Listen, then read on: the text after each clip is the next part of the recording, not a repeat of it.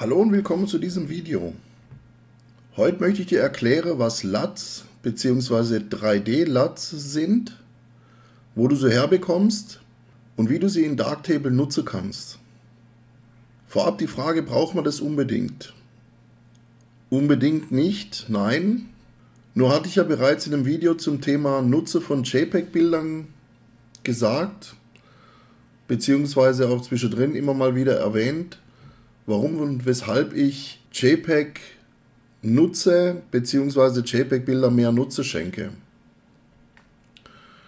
Und mit den 3D-LUTs besteht eine weitere Möglichkeit, den JPEG-Bildern oder den Bildern, egal ob RAW oder JPEG, den gewissen Pfiff mitzugeben.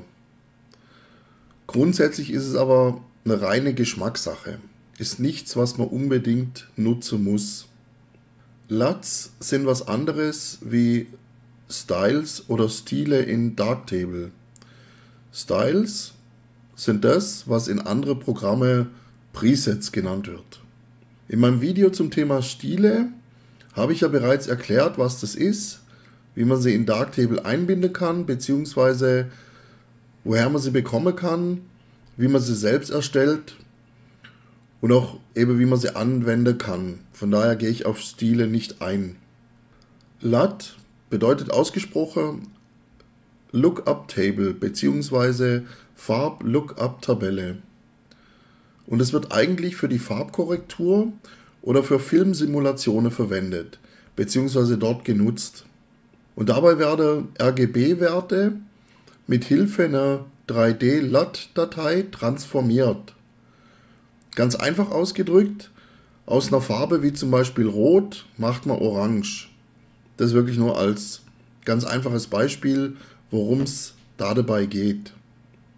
Eine 3D-LUT ist eine dreidimensionale Tabelle, die es möglich macht, jeden RGB-Wert in einen anderen RGB-Wert zu transformieren oder umzuwandeln. Wenn man von 3D-LUTs spricht, gibt es natürlich auch 1D-LUTs. Es würde jetzt aber zu weit führen, das hier alles zu erklären und auch zu erklären, was da an Berechnungen dahinter steckt. Und großartig interessieren wird sich dafür wahrscheinlich eh niemand. Man ganz nebenbei, die Berechnung selbst, das interessiert mich auch nicht. Ich habe aber in der Videobeschreibung einen Link zu einer Seite eingetragen, auf der das alles sehr gut erklärt wird, eben für diejenigen, die mehr darüber erfahren wollen. Dann schauen wir uns mal dieses 3D-LUT-Modul an. Gehen wir einfach mal hier auf ein Bild. Also ich habe bei den Bilder sind alle selbst gemacht.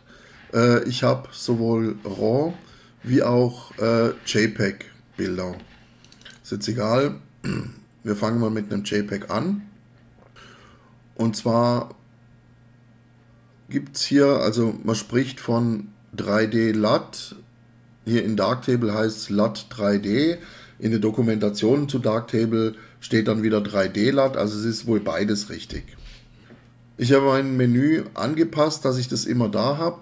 Wenn du es nicht sehen solltest, gibst du einfach mal 3D in der Suche ein oder LUT und dann findest du das Modul. Wenn man das Modul anschaltet, macht es erstmal gar nichts. Also wenn man es öffnet oder so. Äh, denn es erwartet zunächst erstmal irgendeine LAT-Datei, die es laden kann. Also besorgen wir uns erstmal solche LAT-Dateien oder kurz LATs.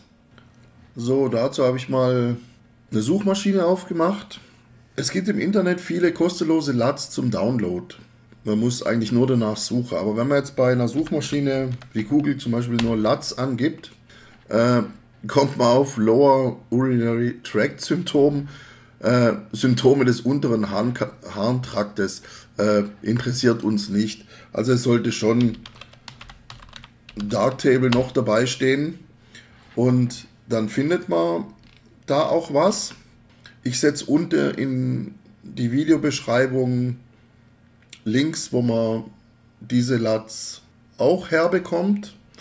Äh, man kann nach ON1 und LATS suche oder man geht eben direkt auf die Seite von on1.com. Äh, wären wir hier auf dieser Seite, geht über Free, Free Presence und LATS. Jetzt kann man sich das hier raussuchen, hier unter Free LATS. Ähm, da steht jetzt für Lightroom, Photoshop, bla bla bla. Die funktionieren auch unter Darktable. Es gibt hier eine Beschreibung zu den LUTs. Man kann sich aber auch das gesamte Paket hier einfach runterladen. Man muss lediglich seine E-Mail-Adresse, das Land eingeben und ja, wann man das ON1 RAW nutzen will, maybe later, ist also kein Problem. Dann kann man diese Datei runterladen. Okay, wenn du die Datei runtergeladen hast, entpackst du sie, also die kommt als äh, ZIP-File und dann ja, legst du die irgendwo ab. Ich hatte vorhin ja gesagt, das Modul braucht irgendwelche LAT-Dateien. Das ist nicht ganz korrekt, denn Darktable kann nur was mit Dateien in den Formate Cube, 3DL oder PNG was anfangen. Und in dem Paket, das du soeben runtergeladen hast, brauchen wir nur die Cube-Files. Ähm, da ist noch mehr drin. Äh, Sache für Mac, Sache für Lightroom. Kann man löschen. Ähm, kannst es aber alles so zusammenlassen, ganz wie es dir gefällt. Noch was, wenn man solche LUTs auf Fotos anwendet, dann funktioniert das nur so lange, wie die LUT-Datei existiert. Damit meine ich, wenn du die LUTs löscht, und sie sind auf Bilder angewendet, dann fehlen sie danach. Also muss man die LAT-Datei immer schön mit Darktable mitsichern. Das nur so nebenbei erwähnt. Aus dem Grund habe ich mir die LATs im Darktable-Verzeichnis äh, abgelegt. Und zwar eben unter Linux äh, Darktable, da habe ich mir ein Verzeichnis gemacht, LATs, da habe ich die reingelegt. Also ON1 LUTs, das sind die, wo man gerade runtergeladen habe. Ich habe alles, was man nicht braucht, im Prinzip gelöscht. So, und wenn man jetzt hier diese Cube-Files mal hat, kann man die ganz normal mit einem Texteditor aufmachen. Für den, was interessiert, im Prinzip ist es einfach nur eine riesige Zahlenfolge, die es da gibt. Und ja, ist eigentlich schön zu sehen, was in dieser Datei passiert, beziehungsweise was da drin steht, äh, ob es einen Sinn macht, dass man das wissen muss. Wenn man es mal gesehen hat, denke ich, ist es in Ordnung. Ähm, noch was, was teilweise interessant ist, nicht immer in den Files aber drin steht, mit was für einem Profil das erstellt wurde. Ja, dazu komme ich aber gleich noch. Wie gesagt, bei mir liegen die LUTs im Darktable-Verzeichnis drin und wenn ich das Darktable-Verzeichnis sichere, sind die LUTs eben automatisch mit dabei. Dann gehen wir wieder zurück zu Darktable. So, hier sind wir wieder. Und jetzt müssen wir noch Darktable sagen, wo diese LUTs zu finden sind. Und zwar in der Voreinstellungen unter Bearbeitung gibt es hier 3D-LUT-Verzeichnis. Das steht standardmäßig, glaube ich, einfach auf dem Home-Verzeichnis und man sucht sich dann eben entsprechend raus, wo das liegt. Also bei mir unter Config, Darktable, LUTs öffnen. So, das ist alles, das übernimmt er sofort. Ähm, unter Windows verhält sich das alles gleich. Ah, man muss Darktable beim ersten Mal neu starten, sonst kennt das nicht. Bei mir ist es ja noch drin. Hier, wenn ich drauf gehe, springt er direkt in das Verzeichnis rein. Ansonsten, wenn sich das Verzeichnis geändert hat, äh, Darktable einfach mal neu starten, dann hat er das, sobald man hier auf das Ordnersymbol drauf geht. Äh, was ich noch sagen wollte, unter Windows verhält sich das alles gleich. Allerdings ist das Darktable-Verzeichnis unter AppData zu finden. Im Video zum Thema Datensicherung von Darktable habe ich ja gezeigt, wo, die, wo das Darktable-Verzeichnis sitzt und wo das alles zu finden ist. So, und dann nimmt man eben ein Foto her, klickt auf dieses Ordnersymbol einmal drauf und landet dann im Latz-Ordner. ON1, das sind die, die man gerade runtergeladen hat, beziehungsweise die Verzeichnisse, die da drin enthalten sind. Und jetzt wählt man einfach so eine Datei aus, zack, und dann verändert sich das. Wenn es mir nicht gefällt, klicke ich einfach hier auf den, auf den Namen der Cube-Datei und wähle mir ein zweites aus oder einfach ein anderes. Ganz so, wie es mir gefällt. Ja, das vielleicht wäre ganz gut. Was man jetzt noch machen kann, ist eine einheitliche Maske und sage, die Deckkraft fahren wir etwas zurück, wenn es einem zu viel war. Aber mir gefällt es so, ich würde das jetzt so lassen. Und dann gibt es eben noch diese zwei Punkte Anwendungsfarbraum und Interpol Interpolationsverfahren. Das Interpolationsverfahren betrifft die Berechnung der Ausgangsfarbe. Und zwar, wenn die Eingangsfarbe nicht genau auf einem Knotepunkt des RGB-Würfels liege. Also wie das zu berechnen ist. So heißt es in der Dokumentation. Kurz und schmerzlos, das ist eigentlich uninteressant, weil es macht keinen sichtbaren Unterschied, was man hier angibt. Ja, also da passiert nichts, das lässt man erstmal weg. Beim Anwendungsfarbraum, da geht es darum, auf welchen Farbraum hin diese 3D-LAT-Datei erstellt wurde. Das ist das, was ich gerade vorhin noch gezeigt habe, in diesem Cube-File drin, mit welchem Farbprofil bzw. auf welchen Farbraum das geht. Jetzt gibt es hier sRGB, so steht es im Standard. Adobe RGB. Äh, sehr viele sind auf die Rec 709 hingebaut. Da probiert man einfach mal aus, was am besten rauskommt.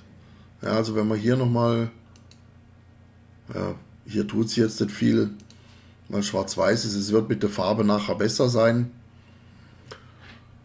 Gehen wir einfach mal noch auf ein anderes Bild, das hier vielleicht wähle ich das nochmal aus. Da gehen wir mal Cinematic. Ja. Und da sieht man doch schon einen ziemlichen Unterschied. Und wie gesagt, das sind fertige JPEGs. Wenn man jetzt hier mal den Farbraum ändert, eben, die wurde über Adobe, also über ein Adobe-Produkt gebaut. Und dann könnte man auch den Adobe Farbraum auswählen. So, das wäre es zum Beispiel. Können wir hier noch hergehen. Machen wir hier mal Landscape.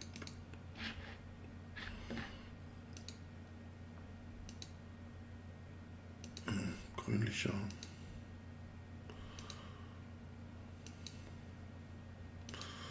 Also sind sehr interessante Sachen dabei. Wie gesagt, kann man ausprobieren, kann hier mit der Deckkraft doch rumspielen. Ändert den Farbraum nochmal. So. Und das Ganze funktioniert, funktioniert natürlich auch auf die RAW-Files.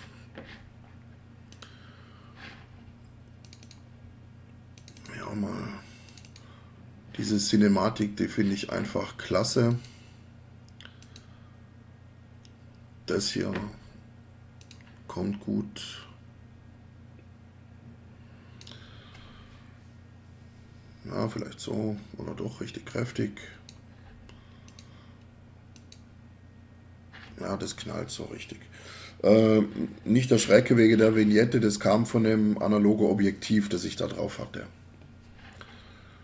Und so kannst du einfach mit deinen Bildern ziemlich schnell, was gibt es denn hier noch? Landscape, äh, hat man schon. Nature. Kann man einfach ausprobieren, was es da gibt und was man da eben so alles machen kann. Jetzt noch kurz ein paar Dinge, die es zu beachten gibt. Wenn man nach solchen LUTs sucht, findet man massig frei verfügbare LUTs im Internet. Wie gesagt, ich setze Links unten in die Videobeschreibung, wo ich meine her habe oder welche ich gut finde. Kannst du gucken, ausprobieren. Aber nicht alle von diesen LUTs funktionieren problemlos mit Darktable. Es kann eben sein, dass du eine ganz tolle Beschreibung von so einer LAT-Datei hast, aber die dein Bild dann nicht so verändert, wie es beschrieben wurde. Das kann eben passieren und liegt daran, dass Darktable einfach mit dieser LAT-Datei nicht zurechtkommt. Und wichtig ist auch, dass diese LATs auf unbearbeitete Bilder angewendet werden. Also jetzt gerade bei der RAW-Files nicht zuerst einen Stil oder irgendwas drüber jage und dann äh, dieses, dieses LAT oder diese LAT-Datei, sondern möglichst als erstes die LAT-Datei draufgebe, weil es kann sonst zu unschöne Farbe oder zu, un, ja, zu unschöne Farbeffekte kommen. Also darauf achte. Zuerst diese LAT-Datei und dann kann man immer noch über Farbbalance. Gehen wir hier mal lebendige Farbe. Dann kann man da noch die Farbe anpassen, nicht umgekehrt. Und wie gesagt, ich nutze das für meine JPEG-Bilder, um ihnen am Ende einfach noch das gewisse Extra zu verleihen oder mitzugeben. Und dann hoffe ich mal, dass du mit dem Video und den LUTs was anfangen kannst. Ich wünsche dir ganz viel Spaß beim Ausprobieren und beim Testen. Und wie immer freut es mich, wenn dir mein Video gefallen hat und du mir dafür einen Daumen nach oben gibst. Natürlich freue ich mich ebenso über einen Kommentar von dir. Ansonsten wünsche ich dir eine gute Zeit. Viel Spaß weiterhin mit Darktable. Bleib gesund, sonnige Grüße und tschüss.